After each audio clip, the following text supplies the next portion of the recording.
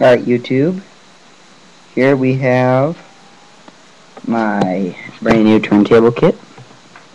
Got a Crane Show for $15. Along with a few other things I'll show you guys later. Sitting in the background you can see, so don't have to tell you. But it comes with your pits, inspection pits. And the floor usually looks like that, like the extension pit. But that I have done very simple weathering technique of taking any sharp tool, in my case the closest thing I had was the scissors, and I took my scissors and scarred lines in the plastic the way I think that cracks should be using prototype pictures.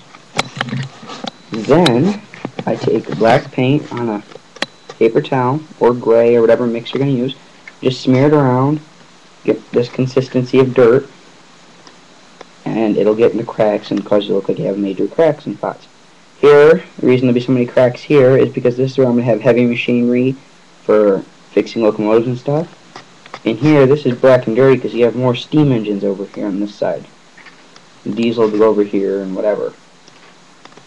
This is just for the video. They'll, they'll both be weathered the same eventually because it's going to be all steam, but this is just for the YouTube video to show what they'd look like. And that's why this has to be done here. All it doesn't really matter because there will be equipment and stuff on top of it. And then the brick walls, you normally get your brick and it's this color on the back of this, just this plain old brown where my pinky is. But I took titanium white paint and put it on a spongy brush, one of these. Them for like dollar a piece at hobby shops and stuff. Put the titanium on them and just rubbed across it and it looks like you have mortar in between your bricks. Finished product looks like that with windows. Right there. And then, nice little thing I've done is this kit comes with smoke jacks like this would go on your roof. Everybody knows what these look like. And then you got your smoke collector, little funnel that go inside. And they both happen to be hollow. Can't really tell on that one, but it is.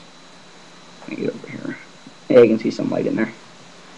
Let's see. Nah, I can't do that. Anyways, they'll go like this.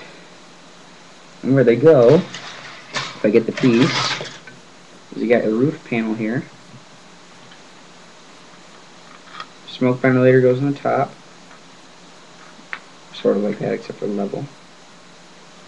And then underneath, your little funnel goes down here. Of course, it'll be a whole lot straighter than that, but this is just to show. They both are hollow, so all I have to do is drill a hole in my holding piece that holds them, and I'll be able to have a working smoke jack. That's part one. Part two coming up later. I'll probably have the roof and stuff on, maybe the doors, and probably going to put some lighting in it.